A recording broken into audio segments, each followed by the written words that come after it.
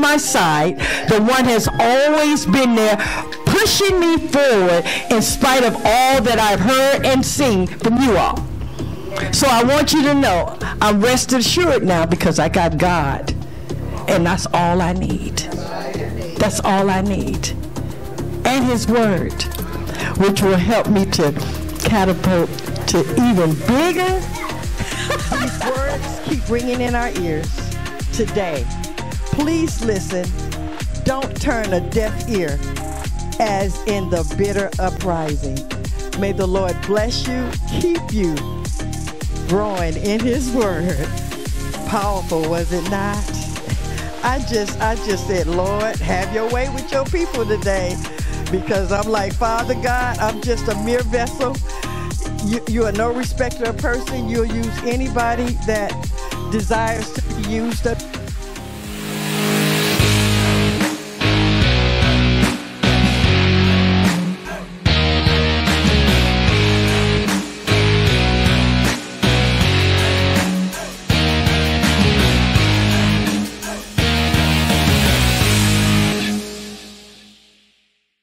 Enter. We're so glad that you took the time to uh, fellowship with us and to be with us today. I know this word that I have before you is from God because He made me go through it in order to realize that the body needs to know also that we are not alone in, in what we're dealing with right now, that He is in control and Father God, we just thank you right now, Lord God, that every word that I speak is your word, Lord God, that it will manifest in the hearts and minds of your people, Lord God, and that they will hold on to your word, Lord God, and that it will grow and it will mature, Lord God, to do the things that you have called each one of us to do. It is by your grace and mercy, Lord God. In Jesus' name, amen. Our word today is faith and perseverance is a gift from God we sometimes feel as though like why am i going through this? Why is this happening? But we must realize that everything that we do we're here to glorify somebody and it is god himself and even though we're in this year of uncertainty when it comes to the world, and even though COVID 19 still is present, so many have changed their perspective and started truly seeking God with their whole hearts. We all have listened to the news and our current president, who has truly disregarded the scientist, scientist knowledge provided to him. As I read certain passages of scripture, they have strengthened my faith and keeps me pressing forward to all that God has in store for me. And the more He has in store for me is the more I will share out to you. Praise God. I am not where I am today because of who I am, but because I have a lot more focus on God and His Word and the plan that He has set before me. For He knew when the light would come on in my life and I would sit at His feet and listen to His instructions for my life. Those of us that were in a place of little faith, well, we have seen our faith grow since March 2020 and COVID 19 struck America. Our thoughts of life have changed, and we think more of the present life since we are seeing so many of us leave, leaving here rapidly. I pray that these Bible verses inspire your faith and motivate you to persevere no matter what you face. God promises to be our comfort and every present help in times of trouble. Psalms 46 and 1. God is not done with you, and yet he will help you to endure. Matthew 15 28. Then Jesus answered her, O woman, great is your faith. Emphasis emphasizes, Great is your faith. Matthew 17 20, he said to them, Because of your little faith. Hmm. See how important faith is? Ephesians 2 and 8, for by grace you have been saved through faith. Perseverance means more than endurance. Question for you to think about Is there something in your life for which you need perseverance right now? Perseverance is a vital is vital to growing in your faith, and God wants His people to pers- persevere no matter what happens. So we have to learn how to overcome obstacles, difficulties, trials, and tribulations to experience victory in Christ. We have two choices when faced with hardship trust in God and keep our vision on Him, or quit and abandon hope. Now, you know we need that hope. We can't survive without hope. God has so much in store for us, and it is His plan for us that struggles and hardships become blessings and rewards if we persevere. See, there's a reason for everything that we're doing. Sometimes we don't understand. Sometimes we like, wow, why? But we all are reach one, teach one, and we learn different things to help others. It's not just for you, it's for other people that you're going to come in contact with, that you're going to see in life, that you're going to share what you went through to help them, to catapult them to the next level in their lives. We must maintain our intimate relationship with Jesus Christ through the perseverance of faith. Proclaim as Job did, though he slay me, yet will I trust him. That's Job 13 and 15. Faith is the supreme endeavor of your life. Something to think about. I know to walk in faith and perseverance is not easy. But all things, all things are possible with God. Also, we have all had challenges which we never conceived of having this year. But look where you're at. You don't have COVID. You ain't sick. You got food on the table. You got a place to stay. You got your health and your strength. Your kids are healthy. You got a job. God is good. God is good. Stay positive. That is the only way we're able to break the enemy's back of making us thinking that we're not being successful in what we're doing. We are. We're being obedient to God and we're submitting everything that we have before His throne. Here are some examples of perseverance in the Bible. There are numerous stories and scriptures on perseverance guiding us in this area. Let's take a look at some of the examples of perseverance in the Bible and see what they can teach each one of us. Job, the first and perhaps most popular story of perseverance that comes to mind is the epic story of Job. His example was one of the extreme pain and sorrow, yet through it all, Job stayed true to God and his faith. Did you hear that? He stayed true to God and his faith.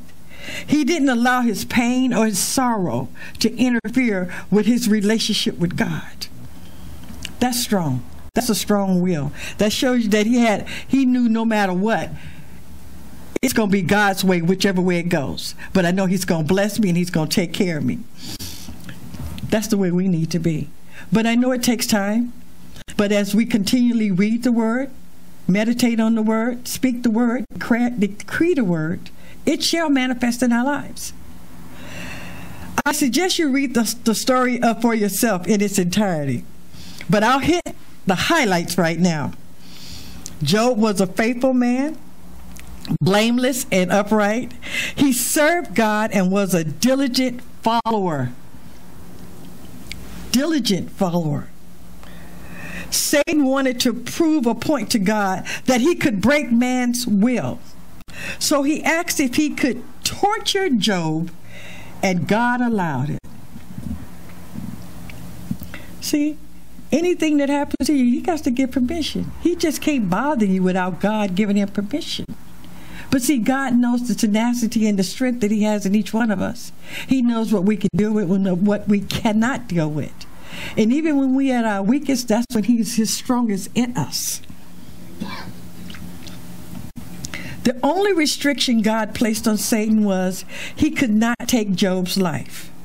In the course of one day, Job was told by different servants that all his belongings and possessions, livestock, and 10 children had been killed or destroyed by natural disasters or thieves. Horrific, huh? But he still trusted God. Despite all of this, Job still praised God, even in his sorrow. Because when praises go up, God gets the glory. Next, Job was afflicted with terrible skin sores, and yet he persevered and praised God. In his grieving with illness, Job's friends came and sat with him. We got them type of friends, right? Girl, you should curse God and die. Like, uh uh-uh, uh, i am not going to do that. I'm not going to do that. But that's why his friends were saying, man, you done something to God. God is doing all this to you. What, what are you thinking? Why you think God allowing this to happen to you? You know, but Job was like, uh uh-uh, uh, I'm not going to play with that. I'm not going to entertain that. Job's friends came and sat with him. Despite the terrible advice they offered him, Job still praised God. But soon his praises turned to questions, bitterness, and anger. Job questioned how a just God could allow such terrible things to happen, even to a faithful servant.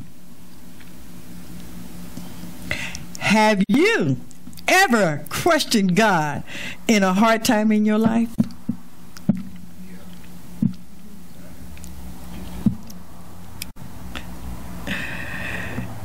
God eventually intervened and implored Job to be brave.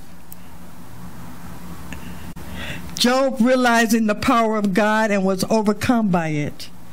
Job recognized God's true character and accepted his own faults and constraints as a human.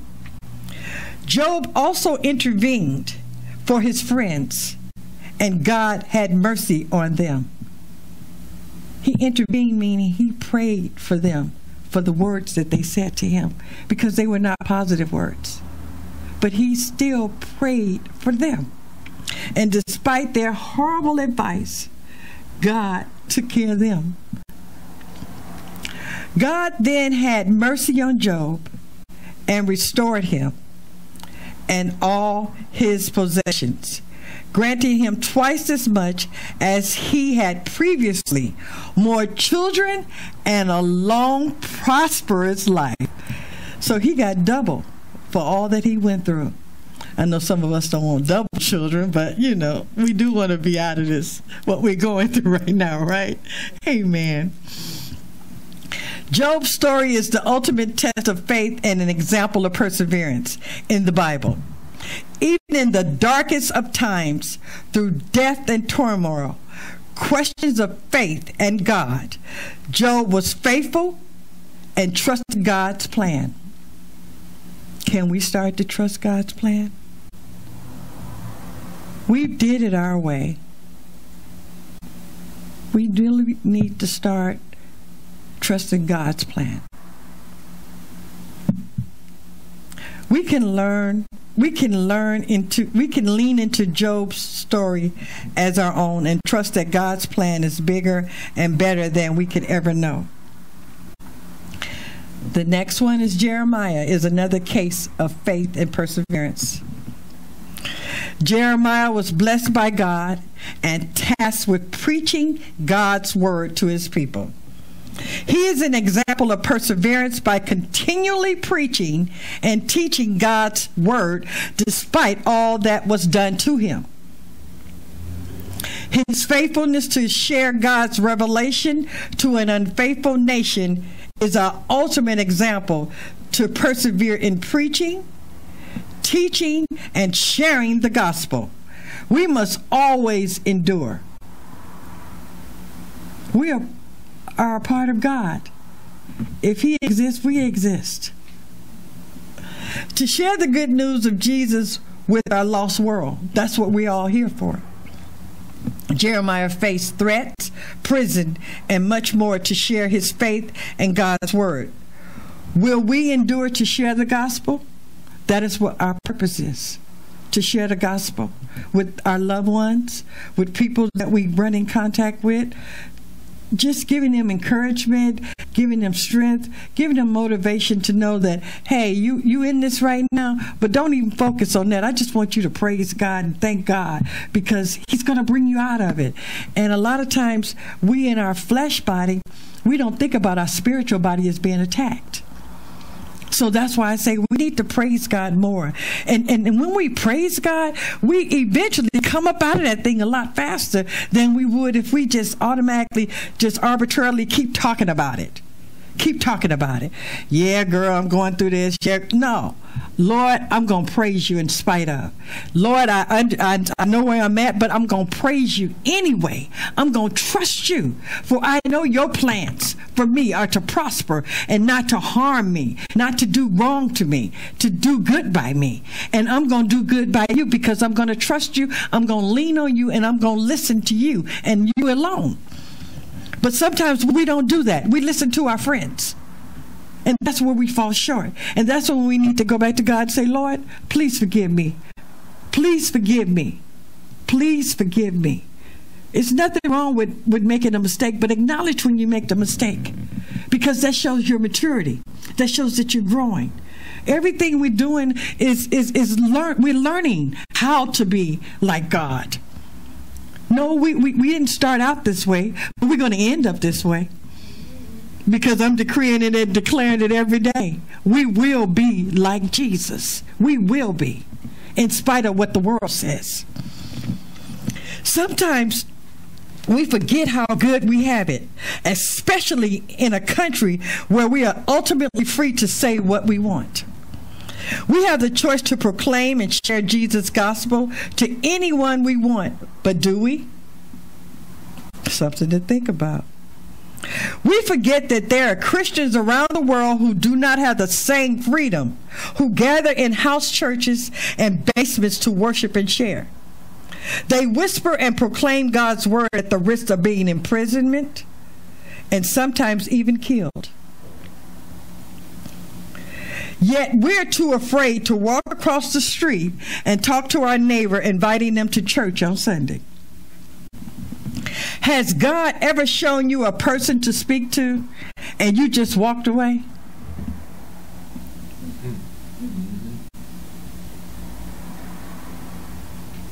I stopped for a moment because I want you I want the Holy Spirit to minister to you. And you tell God, I'm sorry. And I won't do that again. The next time I will speak to the person. Even if I just say Jesus loves you. Even if I just say Jesus loves you. I will not walk away no more, Lord, because I know what my assignment is. We must be diligent to share the gospel when God asks us, asks us, I'm sorry. Jeremiah is a perfect example of this kind of perseverance in the Bible, and we should follow his example, proclaiming Christ to those who hear. The next is Apostle Paul is another example of faith and perseverance. I think we all know about a Paul. Paul is the ultimate example of perseverance in the New Testament. No one has a better conversion story going from killing Christians to becoming one than Paul.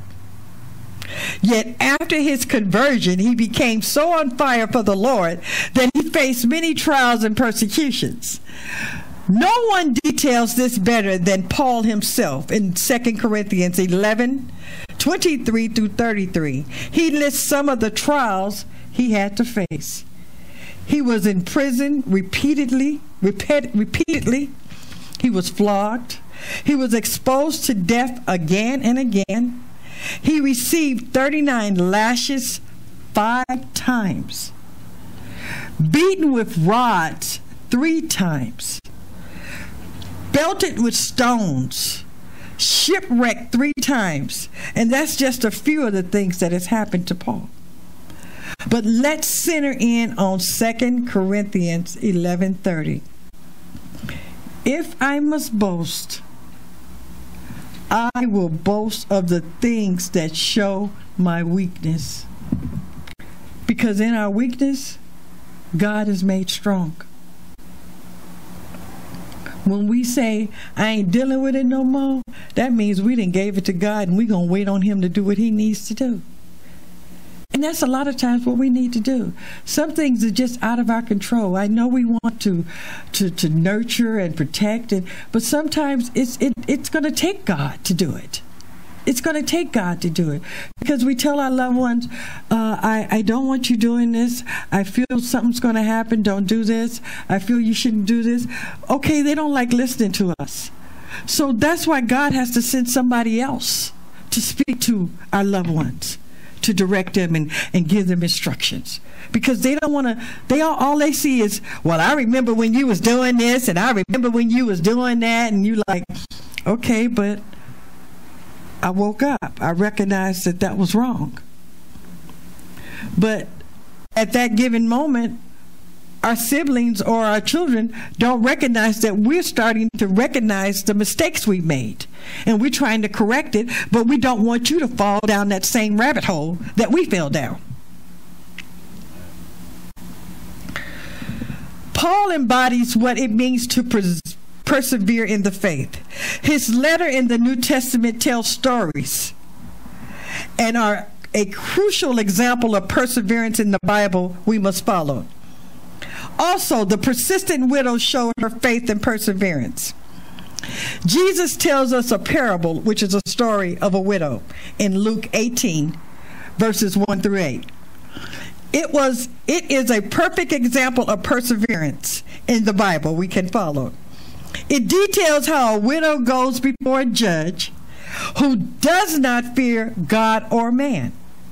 She pleads with the judge to right a wrong done to her by her adversary. She continually pleaded with him to do so. After a while, he caved, and even though he did not fear God or man, he avenged her wrongdoing. She is essentially one wore him down with her faith and faith and perseverance if you really truly believe something is being done wrong to you and you're pursuing it and you're trusting God, don't stop. Don't stop. Keep thanking God. It's going to work to my good. It's going to work to my good. It's going to work to my good. They're going to see that what they did was wrong. But don't be angry, don't be bitter, and don't be harsh in the process. The parable goes on to highlight how God would avenge his children, believers, even more swiftly than an earthly judge. When we continually cry out to God, he hears us. We must continue in faith and perseverance. That is what keeps us strong. This story is to show us that persistently pleading with God, talking with Him, praying and preserve, persevering in faith will reap His reward. He hears our prayers and He listens to His children. Everything that you all have said, He heard it. He's he he might be late to you, but he's not late. He's not late.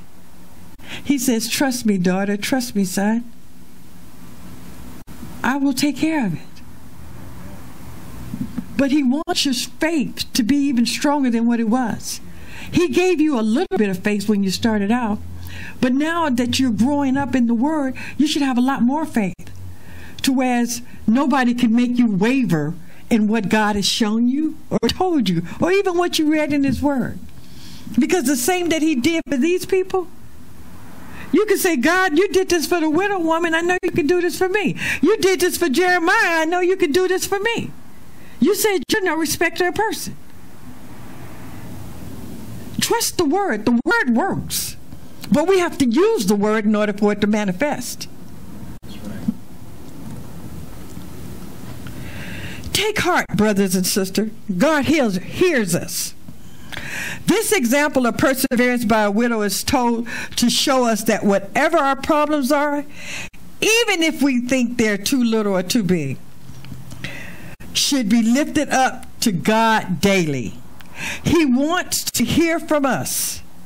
So we should bring to bring them to God who is mighty enough to solve them. He wants your problems. He's, he wants everything that's concerning you concerns him. When you cry, he cry. When you when you when you're fidgety, he's fidgety. Whatever you're going through, he's going through. He just waiting on you to allow him to come in and to assist you with the situation. He is a solution solver. But a lot of us, again, we try to do it in our flesh, and that's where we make the mistake because we allow the enemy in, especially when we have not been able to control our flesh. Keep our flesh underneath our feet and speak the word of God. Stay in the spiritual realm when you have an issue. Don't deal with it in the flesh because the enemy knows your weakest points in your flesh. But if you stay in the spiritual realm, it's all God.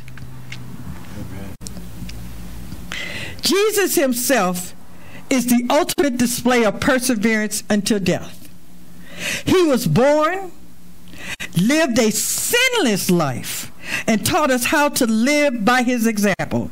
He persevered through agony on the cross, gave his life for a sinner like us, and offered the most perfect example of endurance as he finished the race of life perfectly. Jesus Christ is the ultimate example of perseverance in the Bible. We can read his story through the Gospels and follow his example. He showed us how to persist through adversity, pain, sorrow, mountaintops, and valleys.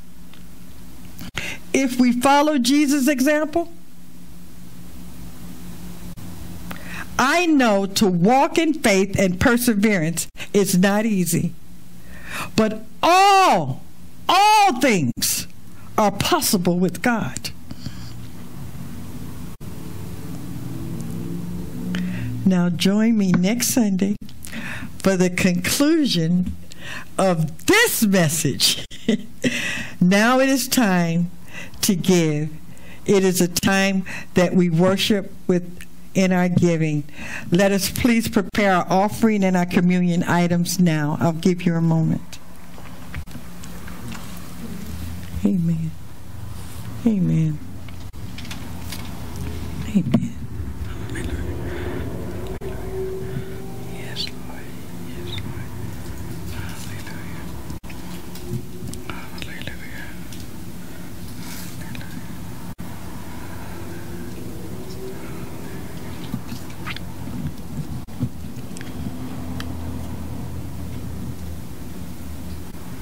Okay, we should be ready by now. Praise God.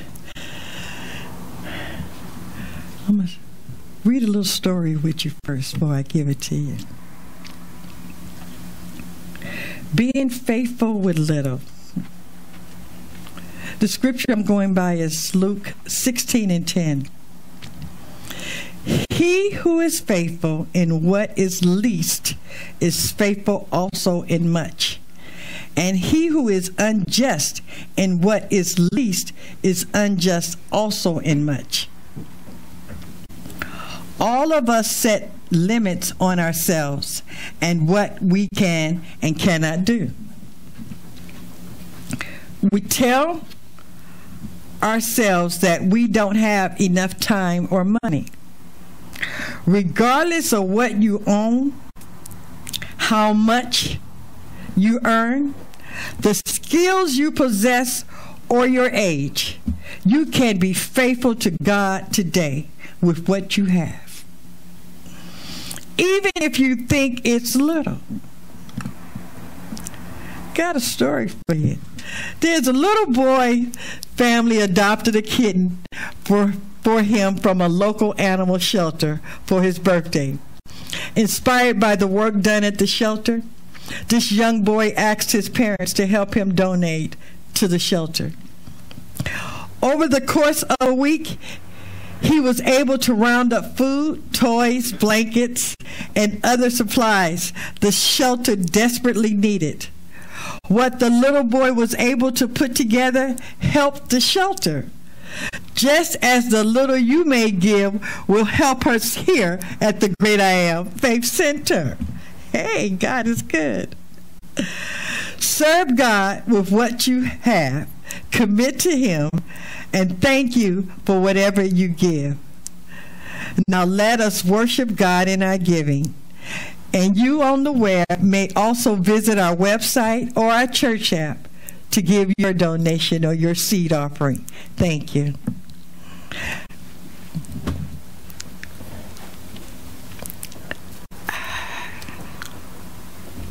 Wait a minute. Put that right there. Amen. Amen. Now it's time for us to do communion. Praise be to God. Thank you, Lord. Thank you, Lord. Thank you, Lord. Thank you, Lord. Thank you. Thank you, Lord. Hallelujah. Hallelujah. Hallelujah.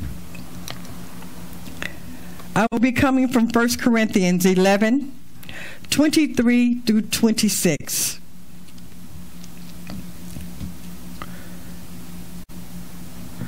Elements up towards heaven. For I received from the Lord what I also passed on to you. On the night when he was betrayed, the Lord Jesus took bread, and when he had given thanks, broke it and said, This is my body, which is for you.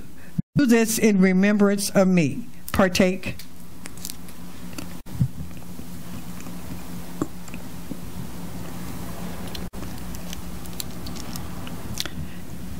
In the same manner, also, he took the cup after supper and said, This cup is the new covenant in my blood. Do this as often as you drink in remembrance of me. Partake.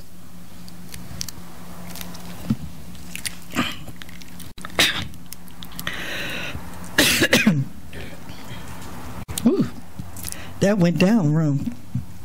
Kind of strong.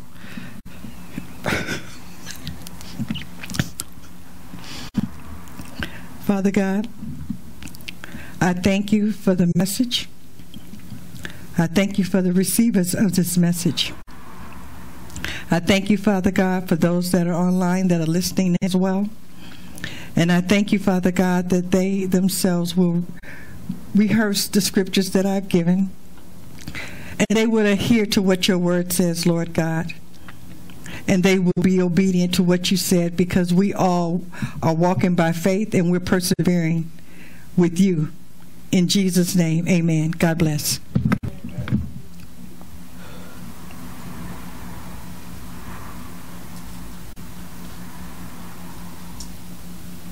You need to have a closer walk with Jesus. You can't do this by yourself you know, uh, I thought about the Transformers and, and how the little car, they started out as cars, right?